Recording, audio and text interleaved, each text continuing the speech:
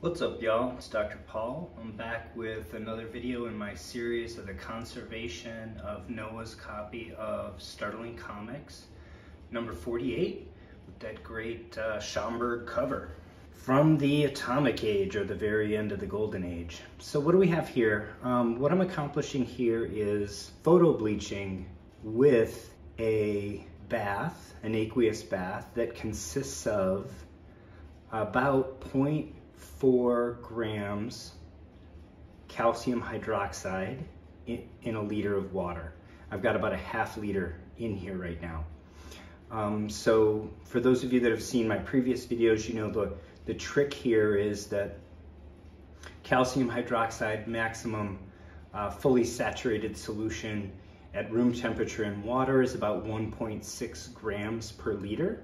So if you make a saturated solution and you decant the top layer that is clear, that's fully saturated, we know then that that's at 1.6 liters per, or rather 1.6 grams per liter. You cut that 50% with water, you're at 0.8 grams per liter. You cut it 50% again with water, you're at 0.4 grams per liter. That is effectively uh, one quarter by volume your uh, saturated solution of calcium hydroxide and the rest water. So we have a very thin layer of that and we know that that is a deacidification bath. It's also a very mild bleaching agent. When we combine it with the photo bleaching from these two LEDs, and these are LEDs that have wavelengths in the 450 to 460 nanometer blue, that these two combined make a very effective bleaching system that barely affects our inks at all, but can really knock stains out of the paper. So as you recall, these this book from Noah had very bad mold stains. And we've effectively been able to knock those mold stains right out of the paper with this method.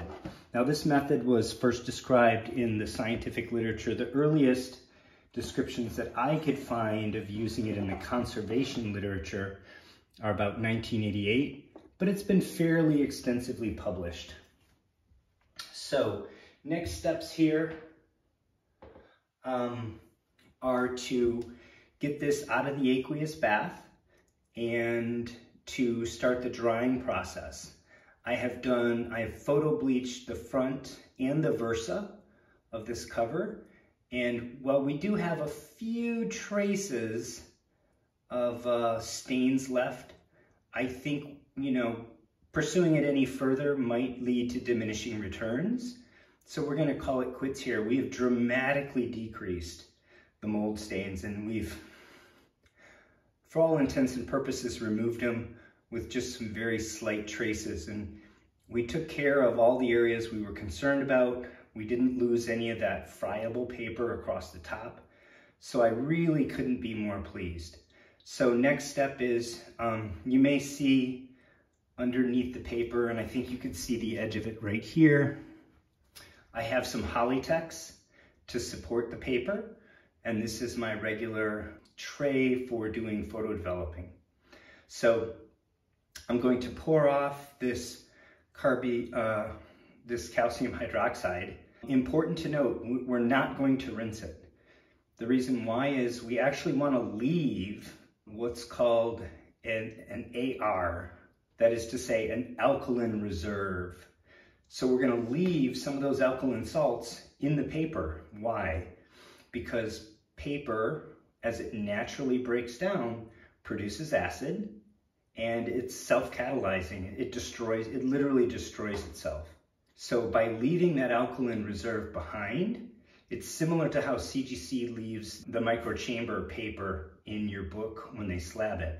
We're leaving behind an alkaline reserve that will neutralize that acid as the paper breaks down. So I'm not going to rinse this. Um, I'm going to pour this fluid off and then we're gonna start the drying process.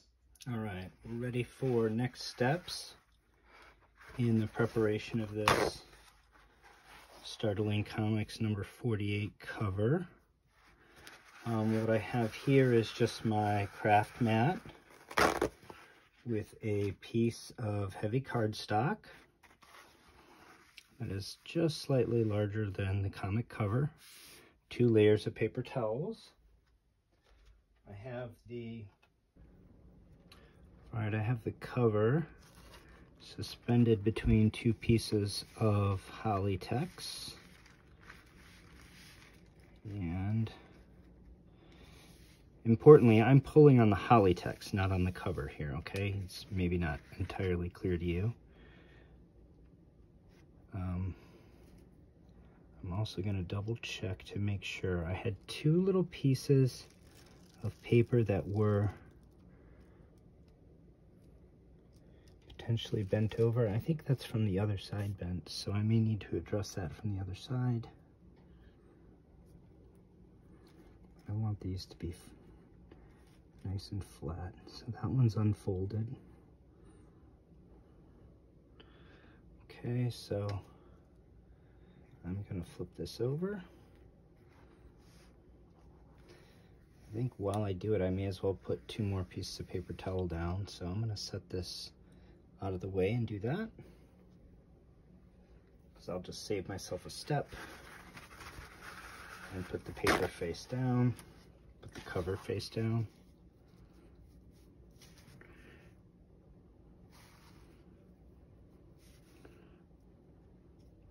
So I have my paper between 18 and 4 on here.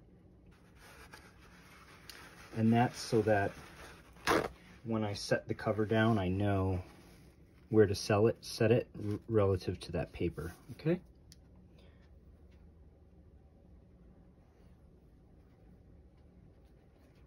So again, I'm holding this just by the Hollytex. I'm not touching the cover at all. I'm just going to make sure that if I do have a loose piece of paper right here, that it is bent over into the correct position. And I did have just a tiny tag of paper bent because this was already damaged. It was bent this way and I just flattened it out and I did that off camera just because y'all don't need to see the back of my head. All right, now I'm gonna make sure that I position this correctly on the paper towel and then position it correctly